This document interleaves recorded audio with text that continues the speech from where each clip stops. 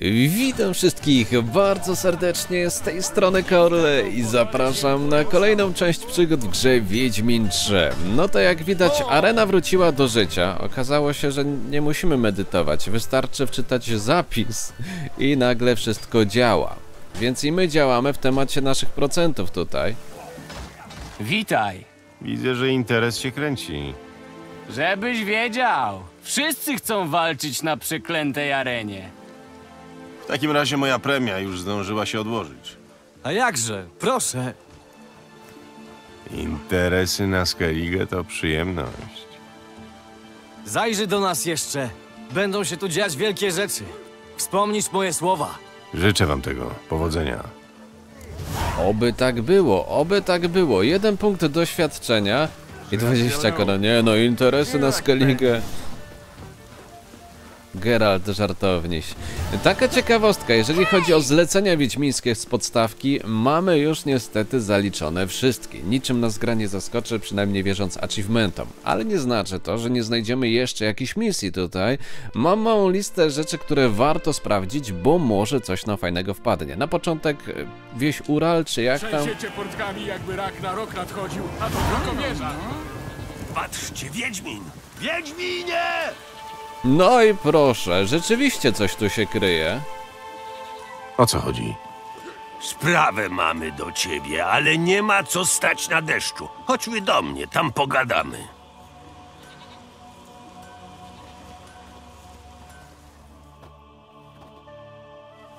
No więc w czym rzecz? Widziałeś ten pagórek za wioską? Od wieków nigdy nic na nim nie było. Aż budzimy się pewnego dnia, a tam wieża stoi.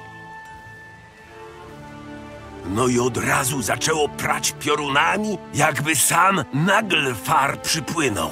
Do tej pory nie przestaje.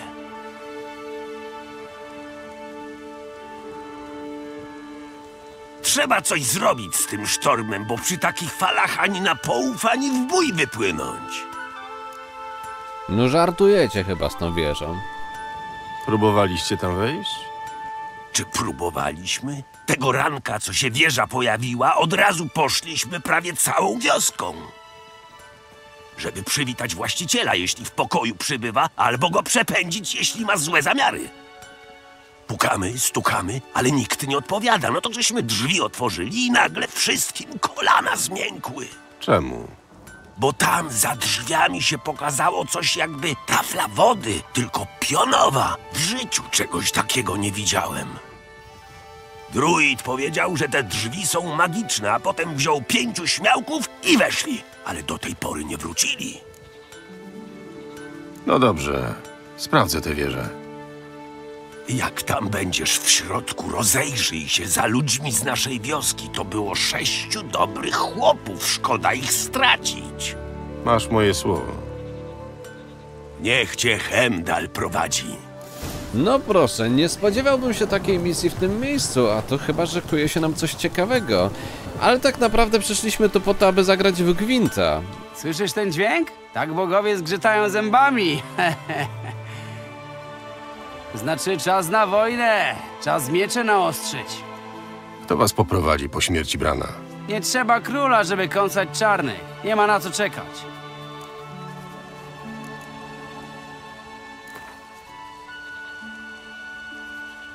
Kowalstwo to męczące zajęcie. Nie masz ochoty się odprężyć? Może partyjka gwinta? Taki standard na początek odcinka teraz się robi. Dobra, talia znana, w sumie nic, nic specjalnego nam do nich ostatnio nie wpada, ale kto wie, może coś się zmieni. Kim grasz? E, przeciwnik, zawsze przeciwnik jak zaczyna. Oj, potwory, niebezpiecznie, niebezpiecznie, bo lubi takie jakieś bruksy, nie bruksy trzymać, ale z drugiej strony to fajne, to fajne, to nawet daje radę płotka. O, już widzę dwie karty do wymiany. Płoteczka i jeden z kolegów i to chyba Max co gramy. No takie średnie karty trochę wpadły, bo liczyłem na Ciri albo Geralta, jakoś tak nie mamy gościa. Zostawiłem mróz, bo potwory często grają na pierwszy rząd, ale z drugiej strony jak będą grały w ten sposób, że mają same jedynki, no to może być różnie. Dobra, coś do ochrony naszych tutaj pierwszych rzędów. Zobaczymy, co wyjdzie z tego dalej. Uuu, nastawił się na tył? A to jakaś nowość. No i teraz zastanowienie, czy brnąć w to dalej, a wrzuć tutaj od razu ekipę. Całą trójeczkę. Spasuje, czy będzie grał dalej?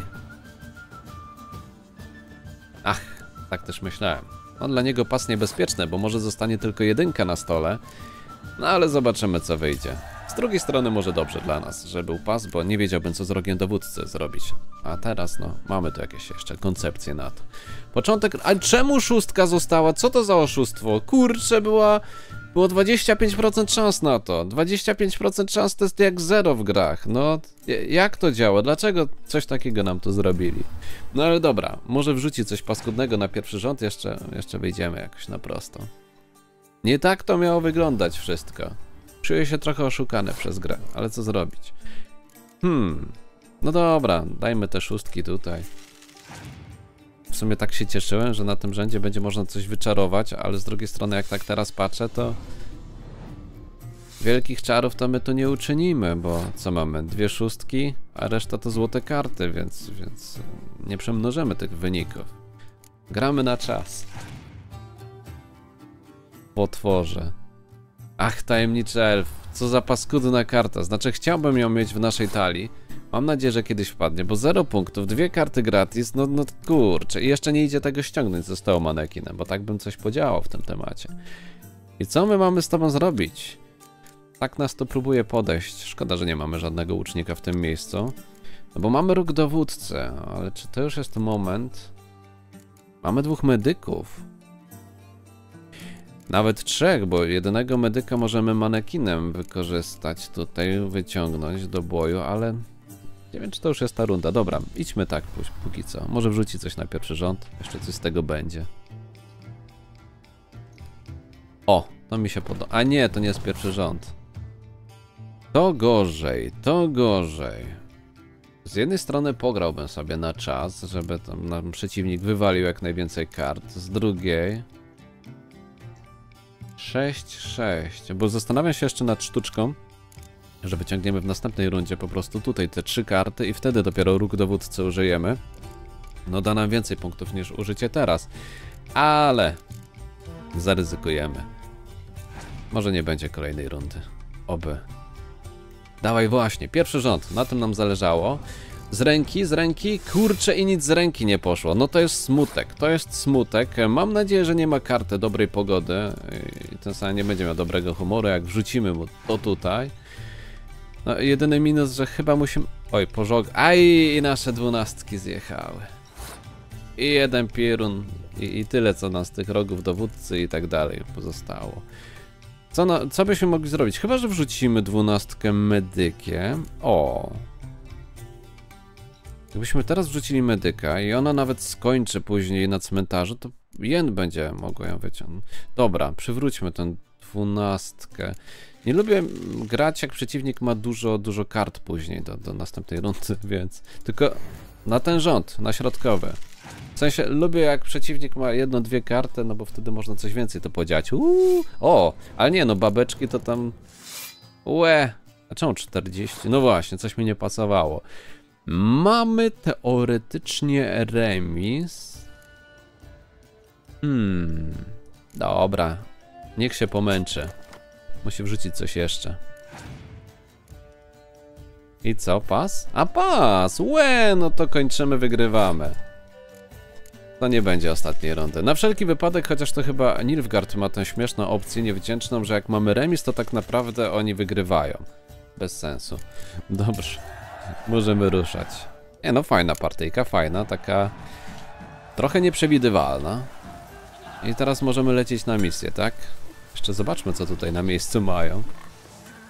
Kolejna karczma. Znaczy, może w karczmie zagramy, w... albo zagram od razu, żeby nie zapomnieć, tylko już, już pominiemy tę rozgrywkę, ale przede wszystkim warto tutaj zajrzeć. No hejże!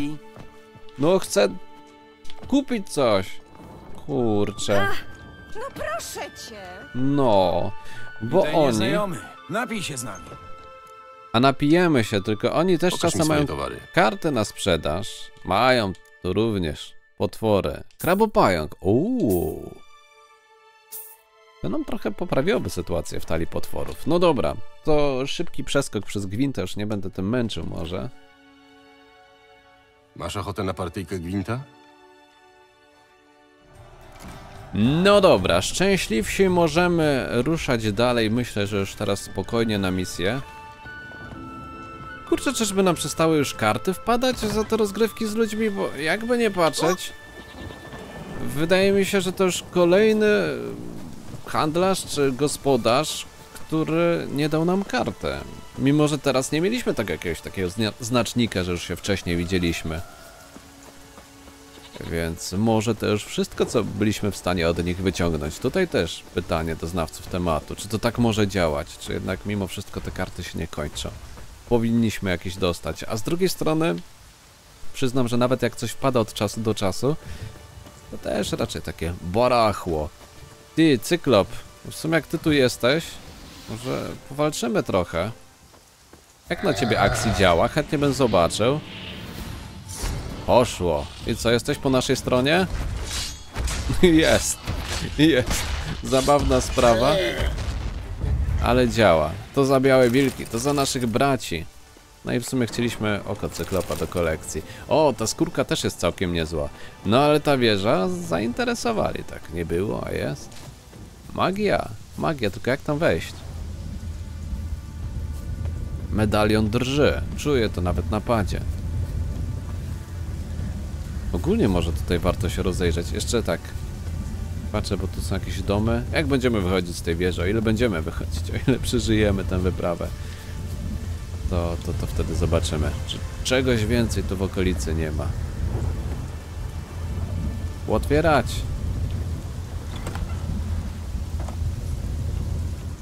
Dobra. Wygląda na to, że na dół nic nie ma. Do góry podobnie, chociaż kusi ta dziura, żeby do niej wskoczyć. Portal. Zaraza.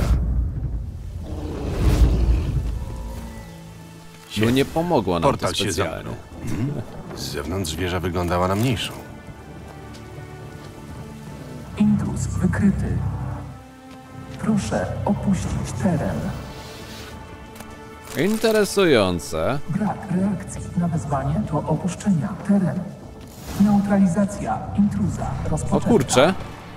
Dawno nie mieliśmy nikogo.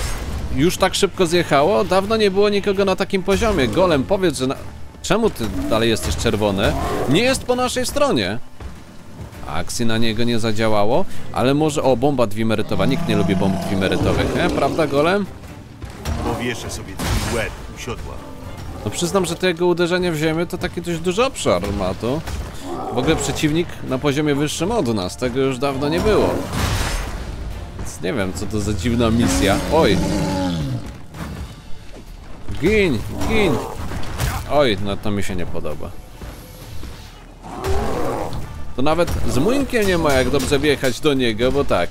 Albo się potrafi przed nami ukryć. Czy, czy też osłonić, o właśnie. Nie tak prosto zrobić mu krzywdę w takiej sytuacji. Cyk, cyk, cyk, cyk, dobra. No chociaż raz młynek wjechał. Na golemie. A jest dopiero osiągnięcie, to wszystko? Pewnie też spotkali golema. O, ktoś żyje? Czekaj, czekaj, zaraz podejdziemy, ale to jest wiele... To też są portale? W ogóle, no jak jesteśmy w takim magicznym miejscu... Dobra, czekaj, my jesteśmy tutaj. Masz nogi, też możesz do nas podejść. Chyba, że to zasadzka. Czemu nam kartaż w ogóle? No, może bomba dwimerytowa byłaby lepsza. I jak tam? Nareszcie ktoś przyszedł mi z odsieczą. I to jeszcze słynny Wiedźmin. Dzięki Bogom. Miałem szczęście, że akurat byłeś w Kowirze. Przysyła cię król Tankred czy towarzystwo magiczne? Ani jedno, ani drugie. I nie jesteśmy w Kowirze, tylko na Skellige. Wynajęli mnie miejscowi, bo twoja wieża sprowadziła sztorm na ich wyspę. Na Skellige. Czyli przeteleportowaliśmy się. Jest gorzej niż myślałem. Na to wygląda. Fajny strój, kolego. O co tu chodzi? No właśnie. Chyba nie bardzo nadążam. Niech w wieży działa defensywny regulator magiczny. Co? To rodzaj systemu ochronnego. Zakłada, że wieży może używać tylko jej właściciel. Kiedy wykryje intruza, zamyka wszystkie pomieszczenia i odmawia dostępu. A ponieważ żaden z nas nie jest właścicielem, mnie zaatakował golem, a ty tkwisz za kratą. Możemy coś zrobić, żeby uniknąć kolejnych atrakcji? Trzeba wyłączyć defensywny regulator magiczny. Poprzedni właściciel napisał kiedyś traktat o zdejmowaniu podobnych blokad. Globalne otwarcie Gottfrieda. Kopia na pewno jest gdzieś w wieży. Przynieś mi ją, a spróbuję złamać zabezpieczenia, odesłać cię do domu i zabrać wieżę z powrotem do Kowiru. Ty najwyraźniej mnie znasz, ale ja nie wiem nawet jak się nazywasz.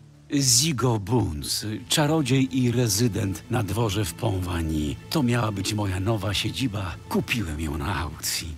Jak to kupiłeś wieżę? Należała do Gottfrieda Stamfelda, słynnego czarodzieja. Kiedy umarł, została zlicytowana przez jego spadkobierców. Żaden z nich nie chciał sprawdzić, co wuj Gottfried trzymał w dziwnych kolorowych słoikach i czy to przez ich zawartość stracił węch i lewe oko.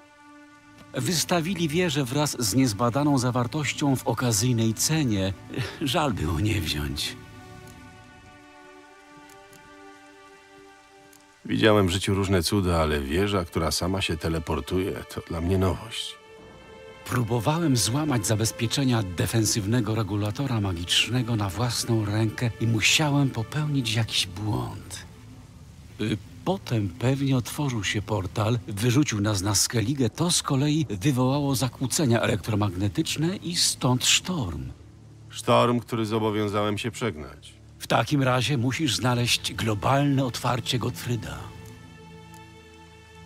Te ciała, które tam leżą, to byli ludzie z pobliskiej wioski.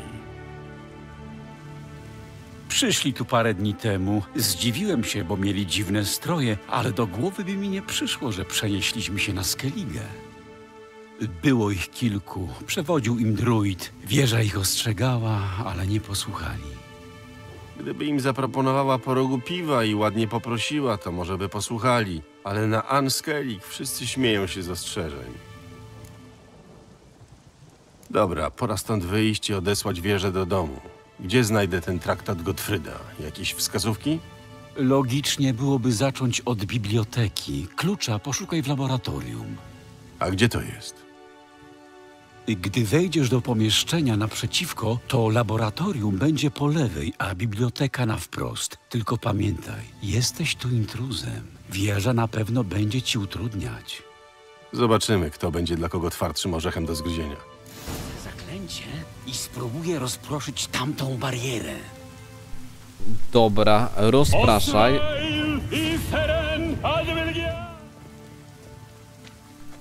Wyszło?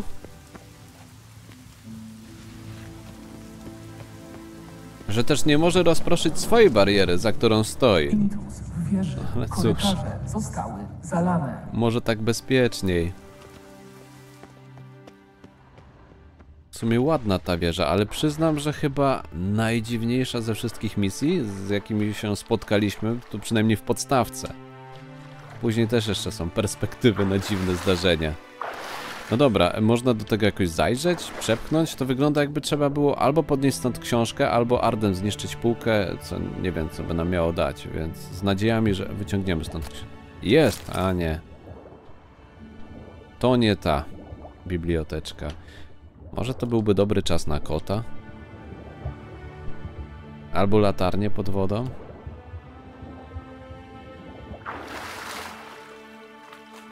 Coś mówił, prosto i na lewo, to chyba jesteśmy. Intruz w laboratorium. Teleportacja bestii rozpoczęta. Hmm. Chcecie przetestować Axit na nasze bestie? Algule, o! No muszę się trochę pobawić. Jeżeli mamy z tego zrezygnować później, to fajnie jakby zrobić jakiś użytek, nim zrezygnujemy z takich bajerów.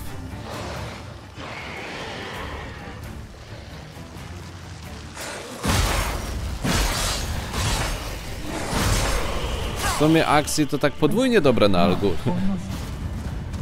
Bo przy okazji je uspokaja. Jeszcze coś? O, gargulec. Dawno nie było gościa. Byd o, bydlaku, ale ten już taki mocny. dawno to my tego nie piliśmy. Gromiku, no nie było takich przeciwników, żeby miał zastosowanie. Ach. Chyba zatruty jest, tak? A przynajmniej wygląda jakby się męczył. Jeszcze jakąś bestię na wolności nam podrzucisz? Chyba jeszcze. Wilkołak. To cały zestaw. Ale z tymi to akurat sobie całkiem nieźle radzimy.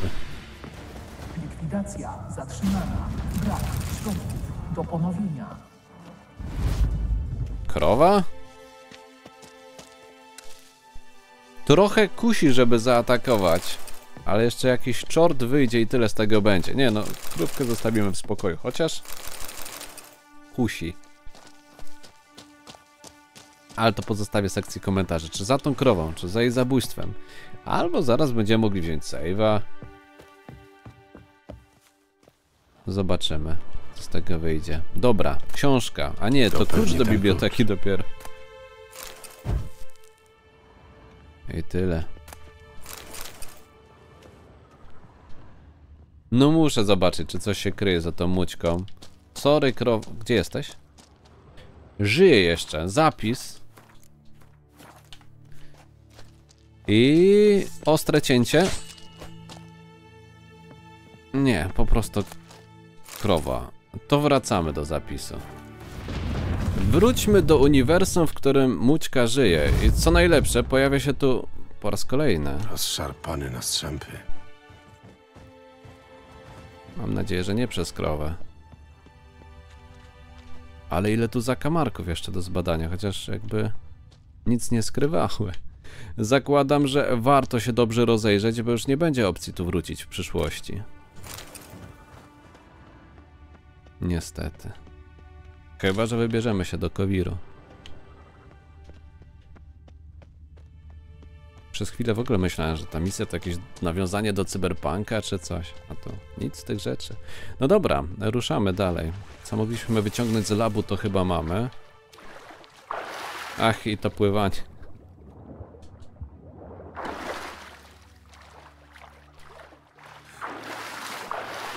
To tu ten klucz? Kurczę, ale jest zamknięte. Nie widzę miejsca, gdzie możemy to wsadzić. Chyba, że tam jest wyjścia. Musimy... Mamy mapę tego miejsca, mapa świata. Aha, super, to będzie pomocne. Mm. Dziwna sprawa, bo gdzieś musimy ten klucz umieścić, a nie widzę miejsca na to. Idziemy zagadać do gościa, może on coś wie. Aż kota łyknąłem, żeby lepiej widzieć. W bibliotece O. integralność zbiorów naruszona. Bardzo dobrze. Podreperowałem nasz ekwipunek, stan zdrowia. No i mamy kota, więc możemy biegać bez pochodni czy, czy innych lampionów.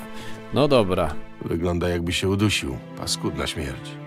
Jak mu udało się tu dojść? Mm, mm. Intersekcje, a linie geomantyczne. Nie tego szukam. Było blisko. Golemancja stosowana. Trzeba szukać dalej. Coś chyba widzieliśmy w tym temacie. Jest! Globalne otwarcie Gottfrieda. Globalne otwarcie Gottfrieda. Jest!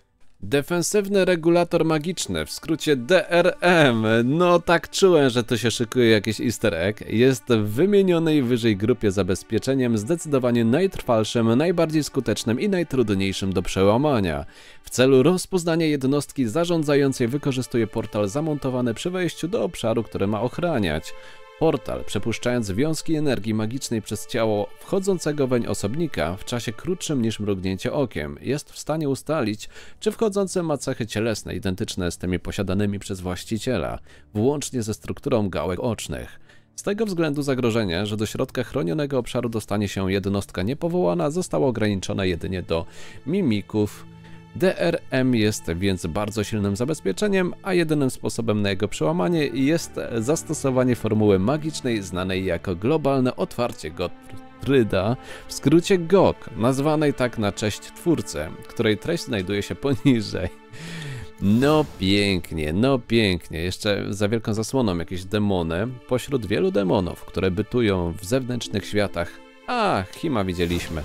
Myślałem, że coś, coś jeszcze tutaj... Nie, nie, nie! Cholerna wieża chce mnie zagazować.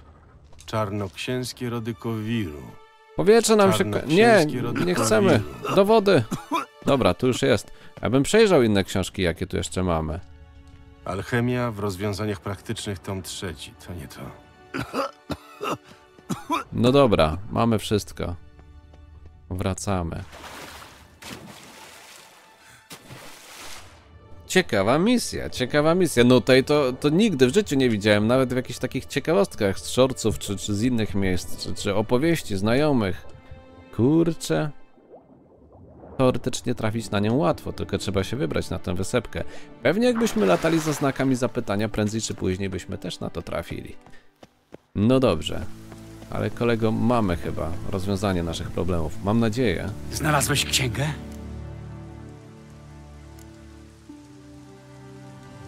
To chyba to. Tak, zgadza się. Cofnij się trochę. Muszę wyłączyć barierę. Osweil i Feren! Komnata izolacyjna otwarta. Niepokojące oznaki wolności. No, nareszcie. Łatwo poszło. Najtrudniejsze jeszcze przed nami. Trzeba się dostać do serca wieży i rzucić zaklęcie dezaktywujące. Wieża na pewno zrobi wszystko, żeby nas powstrzymać. No to prowadź. Czekaj, czekaj tym Chodźmy do prowadzeniem. głównej komnaty. Trzeba pozbyć się zabezpieczenia. I nic tu przed nami nie ukrył? Magiczny może zareagować. Bądź czujny. Osweil i Feren Advergia!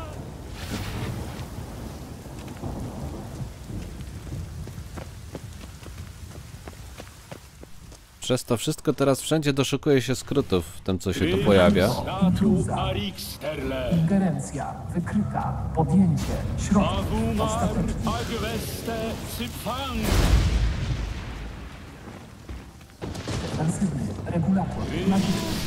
O nie, żygolaki ziemi! O kurcze, i pioruny siarczyste, gromiste. Weź tam tego maga, żygolaku. Ingerencja wykryta. Podjęcie.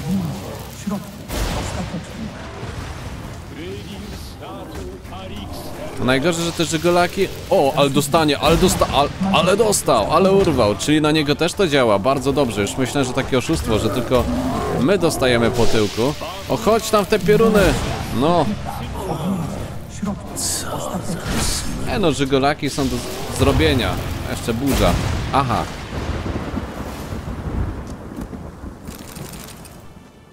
Czekaj kolego, bo tak jak mówiłem, raczej tu nie wrócimy, więc jeżeli zostały jakieś skarby... Uuu, Augrim, jeżeli zostały jakieś skarby, to warto wziąć je teraz. Co najlepsze, ten mieczek może się okazać e, całkiem niezły, patrząc na to, że misja jest ponad nasz poziom, więc... Zaraz się mu przyjrzymy. Albo teraz się już przyjrzymy, co tam będziemy kombinować. Maugrim, gdzie jesteś? No i jest lepsze, no i jest lepsze, a to oznacza, że powoli byśmy musieli chyba biegać za lepszym rynsztunkiem, a niekoniecznie się przebierać. No dobrze, Formuła z traktatu Gottfrieda zadziałała. Już po wszystkim. Gdybyś się tu nie zjawił, pewnie dalej siedziałbym za kratą. Przyjmij ten drobiazg w dowód wdzięczności. Dzięki, chociaż wystarczyłoby, gdybyś uspokoił sztorm i zabrał stąd wieżę. Już się robi. Gdybyś był kiedyś w Kowirze, wpadnij do Półwani. Aburagi Varaterm? Zaraz, co ty robisz?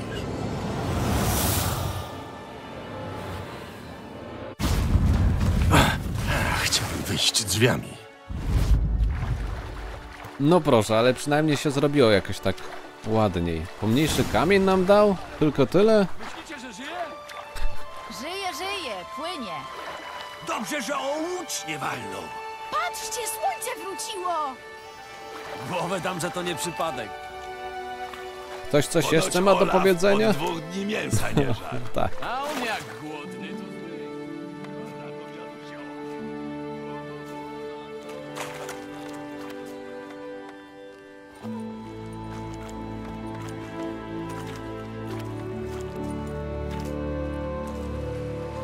Żyjesz? Cały jesteś? Cały, tylko przemoczony. Nauczysz mnie latać? Może innym razem. W życiu takich cudów nie widziałem. Hukło, błysło. W jednej chwili wieża znikła, a ty spadłeś z nieba. No i sztorm jak ręką odjął. Mówiłem, że trzeba zatrudnić Wiedźmina? Co fachowiec, to fachowiec, a za fachową robotę należy się zapłata. Nie trzeba, czarodziej mi zapłacił, zgadza się.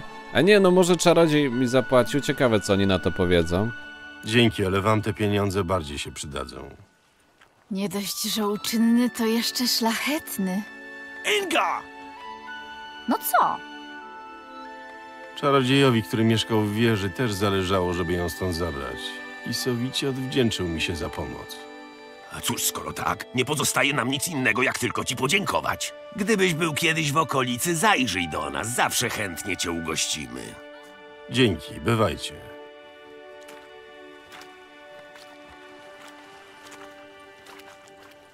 Zaczekaj, Wiedźminie. Nie znalazłeś w środku mojego brata Hurna? Poszedł do wieży razem z druidem i kilkoma chłopami.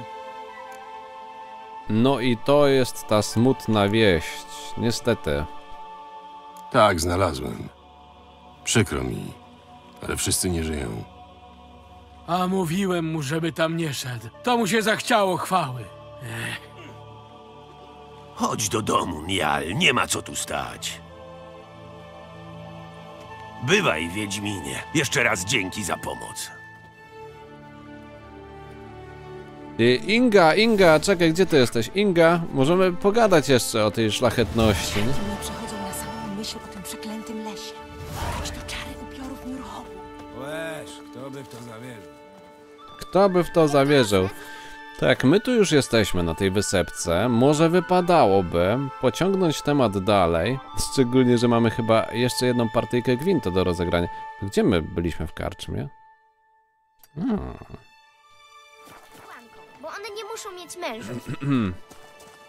Kolego, żeby już nie wracać tu na wyspę. Szybki gwincik, co ty na to? Witaj. Jeśli potrzebujesz broni, chętnie coś dla ciebie wykonam. Oczywiście z pominięciem, tak? Też nie będę tu męczył kolejnym gwintem. Raz na odcinek wystarczy. A może nie pogardzisz partyjką gwinta? Powiedz, że chociaż ty dasz nam kartę. Koronę jak koronę, nikomu do szczęścia niepotrzebne. Ładne miecze, ale No nie ma kart. toporek.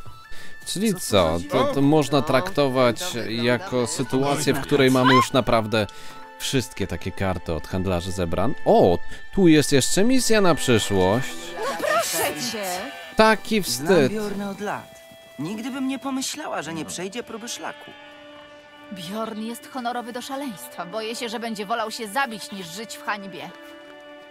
No dobra, to za taki wstyd zabierzemy się w kolejnym odcinku. I tak samo zwiedzanie wyspy, to trzeba było partyjkę gwinta zostawić na późno. A tymczasem dzięki za to, że jesteście, dzięki za to, że gramy razem. Grał z wami Korle. Trzymajcie się. Hej, hej.